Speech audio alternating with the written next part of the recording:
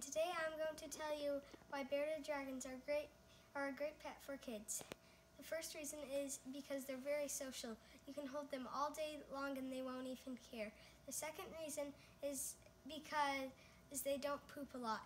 Uh, and I've heard that you can even put them on a pooping schedule. They'll poop like once a day. The third reason is because they eat mostly vegetables when they're adults they'll eat some live crickets and mealworms and cockroaches. And the fourth reason is because they're so cool. Look how cool they are.